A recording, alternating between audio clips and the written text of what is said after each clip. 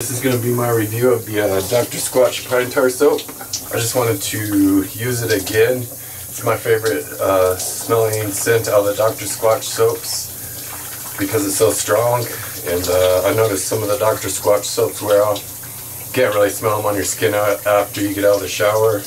And uh, I really like the Duke Cannon soaps better.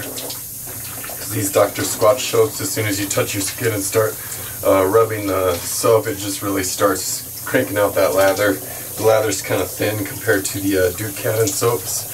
So I just wanted to try it out again today because I'm really putting these soaps to the test to give you a thorough and honest review.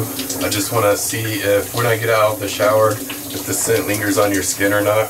Because that's my main complaint against about the Dr. Squatch soaps. But I noticed some of them, like the Birchwood Breeze I used yesterday, it did kind of linger on my skin a while when I got out of the shower, so I did smell good.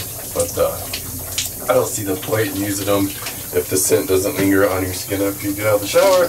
Because of course, that's why you bathe, is so you can smell good. So I'll let you know how it goes.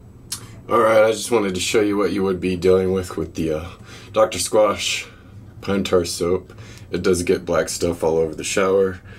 I did not. Luckily, I have the uh, handheld one that I can detach and rinse all that off. I just wanted to show you guys real quick what you would be dealing with. I think it can stain the shower and stuff, but uh, Alright, I'm out of the shower. I've been out for a few minutes, and this is my main complaint of some of the Dr. Squatch soaps I found. Uh, the Birchwood Breeze is the only one I found so far. I'll be testing more out.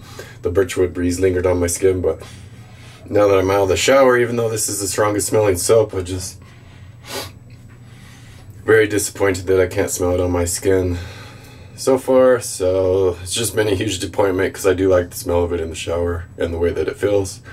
But I've only used this soap for three days and even with the lather there it looks thicker but I mean it's wearing down really quick so it's just been a huge disappointment just wanted to let you know it's definitely a hard fail for me